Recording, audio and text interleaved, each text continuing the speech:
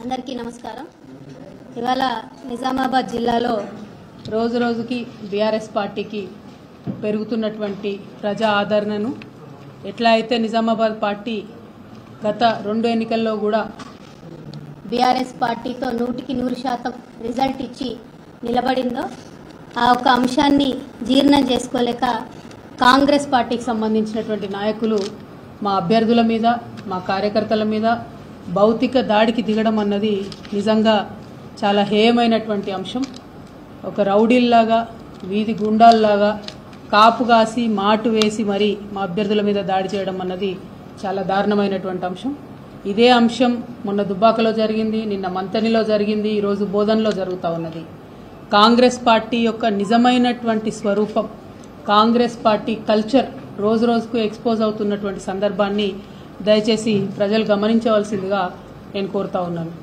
ఇదే కాంగ్రెస్ పార్టీ.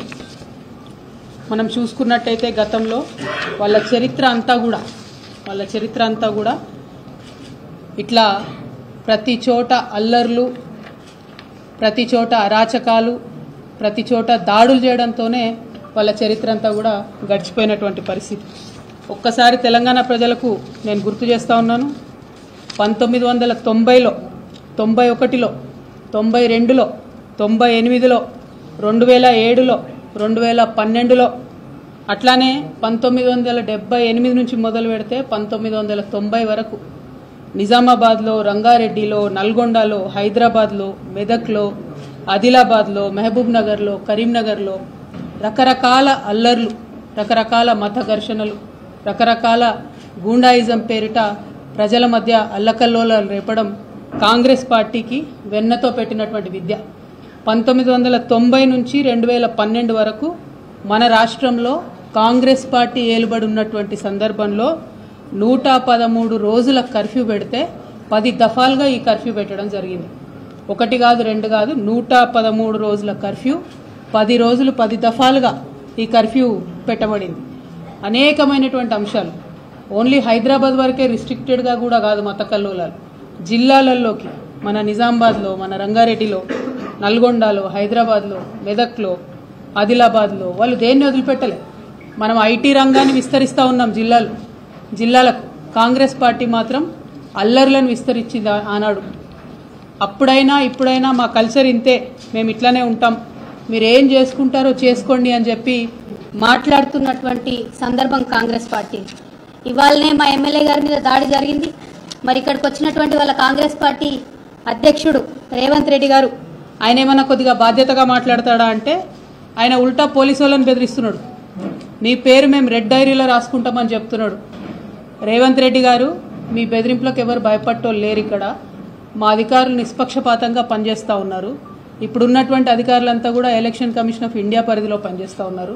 మీరు అది మర్చిపోయి అధికారులను బెదిరించి ఏదో చేద్దామనుకుంటే మీ పేరు మాత్రం గ్యారంటీగా మీ కాంగ్రెస్ పేరు మాత్రం కాంగ్రెస్ పార్టీ పేరు మాత్రం తెలంగాణ ప్రజలు రెడ్ డైరీలో రాసుకున్నారని మీకు ఇవాళ హెచ్చరిక చేస్తూ ఉన్నాం. మీకు మనుగడ ఉండదు ఈ రాష్ట్రంలో మీరు ఇట్లా చేస్తే. ఇవాళ ఒకసారి మా ఆడబిడ్డలు మా అన్నదమ్ములు మా యువమిత్రులు ఒకసారి ఆలోచించాలి. తెలంగాణ రాష్ట్రం వచ్చిన తర్వాత ఈ పదేండ్లలో ఎక్కడా కూడా ఒక చిన్న ఇష్యూ లేకుండా కమ్యూనల్ రైట్ లేకుండా రౌడీలు లేకుండా గూండాలు లేకుండా పరిపాలన సాగిస్తున్నటువంటి సందర్భంలో పెట్టుబడులు వరదలాగా వస్తూ ఉన్నాయి. పరిశ్రమలు వచ్చినాయి వచ్చినట్టు ప్రారంభమవుతూ ఉన్నాయి. లక్షల సంఖ్యలో పిల్లలకు ఉద్యోగాలు వస్తూ ఉన్నాయి. మరి ఓన్లీ ప్రభుత్వ ఉద్యోగాలు అంటే అందరికి వస్తాయా? ఒకసారి తల్లిదండ్రులు ఆలోచించాలి. మరి ఓన్లీ ప్రభుత్వ ఉద్యోగాల కోసమే పనిచేద్దామా ప్రైవేట్ పెట్టుబడులు మనకు వద్దా హైదరాబాద్ ఎదగొద్దా? నిజామాబాద్ ఎదగొద్దా? కరీంనగర్ ఎదగొద్దా? జగిత్యాలు ఎదగొద్దా? ఒక్కసారి మా అక్క చెల్లెలు అన్న తమ్ములు దయచేసి ఆలోచన చేయాలి. ఇటువంటి గూండాయిజాన్ని ప్రోత్సహించే వారికి రౌడీయిజాన్ని ప్రోత్సహించే వారికి పట్టం కట్టకూడదు. వారిని ఎక్కడికక్కడ మన యొక్క నిరసనను తెలియజేయవలసిందిగా నేను కోరుతా ఉన్నాను. ప్రజలు ఒక్కసారి ఆలోచన చేయాలి. ఇవాళ ఎవరి కోసం అండి కొట్లాట? ఎందుకోసం కొట్లాడుతూ ఉన్నారు కాంగ్రెస్ పార్టీ వాళ్ళు? ఢిల్లీ నుండి వచ్చి అనేకమైనటువంటి మాటలు మాట్లాడుతూ ఉన్నారు. ఏం తప్పు చేసింది బీఆర్ఎస్ పార్టీ ఈ పదేళ్ళలో? ఎక్కడన్నా ఒక చిన్న తప్పన్నా జరిగిందా మాతోని?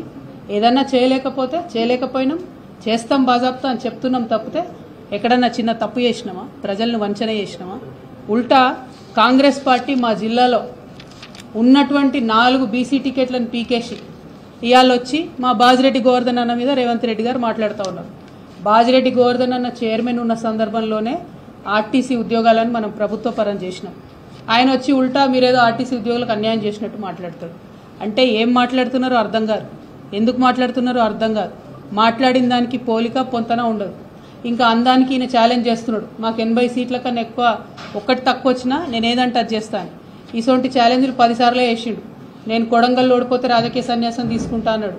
ఇంకేదో అన్నాడు ఇంకేదో అన్నాడు. అంటే ఒక మాట కరలేని వ్యక్తితోని మాట మీద నిలబడలేనటువంటి వ్యక్తిని పట్టుకొని మనం రేపటినాడు మన పిల్లల భవిష్యత్తు మన బిడ్డల భవిష్యత్తు అటువంటి పార్టీల చేతుల్లో అటువంటి నాయకుల చేతుల్లో పెడదామా? ఒక్కసారి దయచేసి ప్రజలు ఆలోచించవలసిందిగా నేను కోరుతా ఉన్నాను.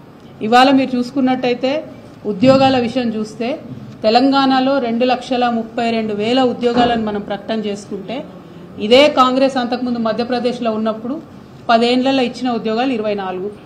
ఇదే కాంగ్రెస్ మన ఉమ్మడి ఆంధ్రప్రదేశ్లో ఇచ్చినటువంటి ఉద్యోగాలు ఇరవై నాలుగు వేలు. అందులో మన తెలంగాణ వంతుకు చూసుకుంటే పదివేల ఉద్యోగాలు వస్తాయి. అంటే సంవత్సరానికి వెయ్యి ఉద్యోగాలు కూడా వాళ్ళు ఇయ్యలే మనకు ప్రభుత్వ ఉద్యోగాలు. ఇక ఇటువంటి వాళ్ళు వచ్చి మనకు పాఠాలు చెప్తా ఉన్నారు. మీరు మాతో పర్ఫార్మెన్స్లో ఎక్కడ సాటిరారు? మీరు మాతో లీడర్షిప్లో ఎక్కడ సాటిరారు? మీరు బీఆర్ఎస్ పార్టీ కమిట్మెంట్తో ఎక్కడ సాటిరారు? ఎందుకు మిమ్మల్ని ప్రజలు ఎన్నుకోవాలి? ఇవాళ బోధన్ ఎమ్మెల్యే గారు ఉన్నారండి. ఆయన అందరితో కలిసిమెలిసిపోయేటటువంటి వ్యక్తి. ఏ పండుగ అయినా ఏది ఉన్నా ముందుండి పనిచేసేటటువంటి వ్యక్తి. సుదర్శన్ రెడ్డి గారికి నిజంగా సిన్సియారిటీ ఉంటే మేమేం చేస్తాం బోధన్ అని చెప్పాలి తప్పితే ఇట్లా రౌడీజం చేసుడెందుకు? గుండాయిజం చేసుడెందుకు? అంత అభద్రతా భావం ఎందుకు? ప్రజల దగ్గరికి వెళ్ళి మీరు సీట్లు తెచ్చుకోలేక ప్రజల మనసు గెలుచుకోలేక మా అభ్యర్థుల మీద దాడి చేస్తే మీకు వచ్చేది ఏందని చెప్పి నేను మిమ్మల్ని ప్రశ్నిస్తూ ఉన్నాను. ఒక్కసారి ప్రజలందరూ దయచేసి ఆలోచన చేయాలి. కాంగ్రెస్ పార్టీ ఎక్కడుంటే అక్కడ ఎక్కడుంటే అక్కడ రెండు మూడు నెలల్లోనే ప్రభుత్వం అస్థిరపరుస్తూ ఉంటారు. నిన్న కర్ణాటకలో వీళ్ళు ఎన్ను ఎన్నుకోబడి మూడు నెలలు కూడా కాలే. ఆల్రెడీ అక్కడ ఒక ఆయన మొదలుపెట్టిండు సతీష్ అనేట ఆయన. నేనే కొత్త సీఎం అవుతాను ఇప్పటికే సిద్ధిరామయ్య గారు ఉన్నారు ఇప్పటికే డీకే శివకుమార్ గారు ఉన్నారు వాళ్ళిద్దరు పోటీ పడుతురంటే కొత్త ఆయన వచ్చి. ఇంకో రాష్ట్రం రాజస్థాన్ అని ఉంటుంది. ఆడ అశోక్ గెహ్లాట్ సచిన్ పైలట్ వాళ్ళు ఎప్పుడు కొట్టుకుంటూనే ఉంటారు. ఇంకో రాష్ట్రం మధ్యప్రదేశ్లో అంతకుముందు ప్రజలు మెచ్చుకొని అధికారం ఇస్తే వాళ్ళిద్దరు కమల్నాథ్ సింధియా కొట్లాటలు మొత్తం ప్రభుత్వాన్ని కూల్చేసిరు సంవత్సరం నర లోపలనే. అదేవిధంగా మరి మనం ఆలోచన చేసుకోవాలి. మనకు కూడా పూటకు ఒక ముఖ్యమంత్రి కావాలనా? మనకు కూడా అస్థిరమైనటువంటి పరిపాలన కావాలనా? ఇలా పెద్ద ఎత్తున హైదరాబాద్లో కంపెనీలు వస్తూ ఉన్నాయంటే దానికి ప్రధానమైనటువంటి కారణం ఇక్కడ శాంతి భద్రతలు ఇక్కడ సు- సుస్థిరత రాజకీయ స్థిరత ఉన్నదని చెప్పి రావడం జరుగుతూ ఉన్నది. మరి ప్రశాంతంగా ఉంటేనే పరిశ్రమలు వస్తాయి ప్రశాంతంగా ఉంటేనే పెట్టుబడులు వస్తాయి పెట్టుబడులు వస్తేనే పిల్లలకు ఉద్యోగాలు వస్తాయి రాష్ట్రం అభివృద్ధి చెందుతుంది. మేము అభివృద్ధి వైపు వెళ్తూ ఉన్నాము వాళ్ళు అరాచకం వైపు వెళ్తూ ఉన్నారు. ఈ ఎన్నిక అభివృద్ధికి అరాచకానికి మధ్యలో జరుగుతున్నటువంటి ఎన్నిక. మీరు దేన్ని ఎన్నిక చేసుకుంటారో ప్రజలు దయచేసి గమనించవలసిందిగా నేను మిమ్మల్ని కోరుతా ఉన్నాను. మరి చిన్న చిన్న అంశాలు మంచినీళ్ళు ఇరవై నాలుగు గంటల కరెంటు కూడా ఇయ్యలేనటువంటి వ్యక్తులు రేపు వచ్చి వీళ్ళు మనకు ఏం చేస్తారన్న విషయం ఒక్కసారి మనసు పెట్టి ప్రజలు ఆలోచన చేయాలి. ఇక్కడ ఉన్నటువంటి అనేకమైనటువంటి అంశాలు మీకు ఇప్పటి వరకు నేను చెప్పుకొచ్చిన ఏవి కూడా అబద్ధాలు లేవు.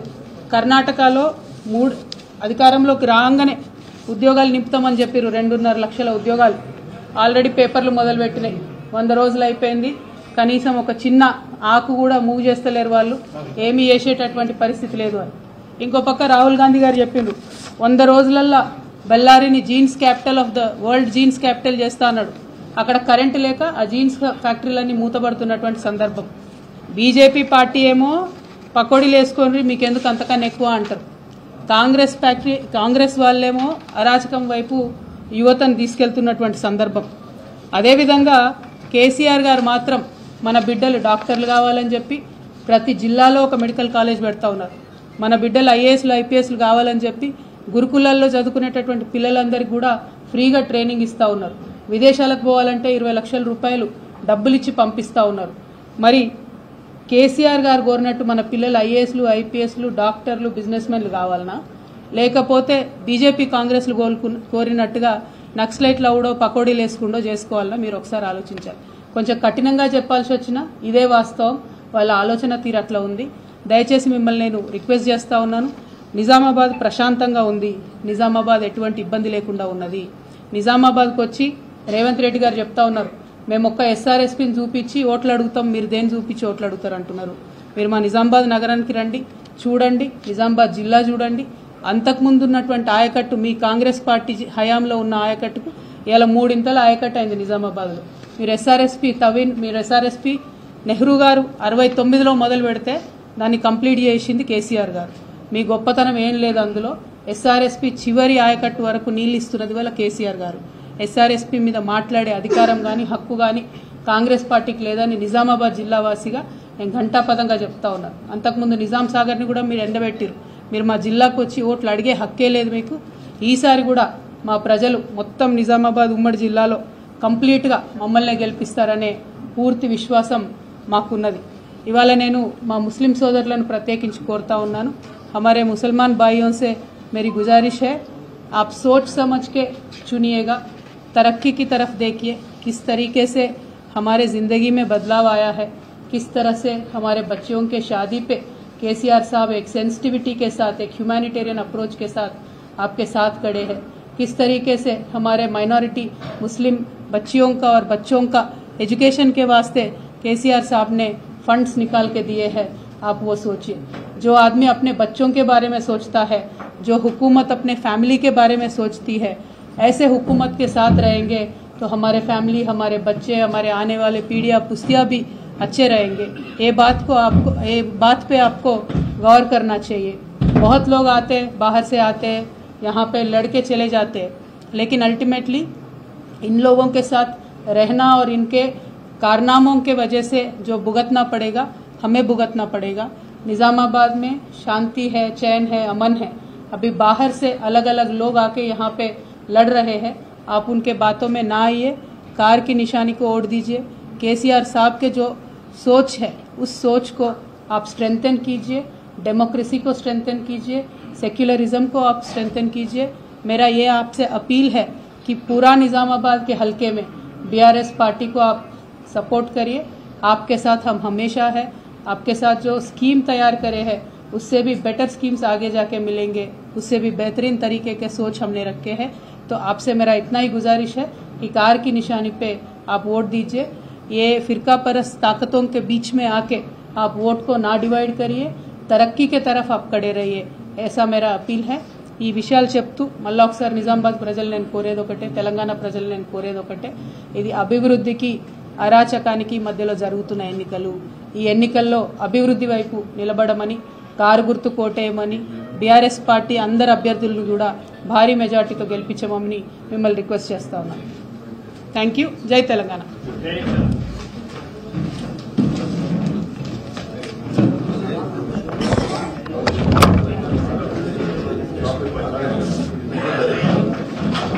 मैडम आपका एक वीडियो वायरल हो रहा है एनआरजी के सालों से वायरल हो रहा है ये मुसलमान भाई एक परिजों की तरह है जितना प्यार से बुलाओ वो उतना करीब आएगा इसके ऊपर क्या कहना पता नहीं कब तक क्या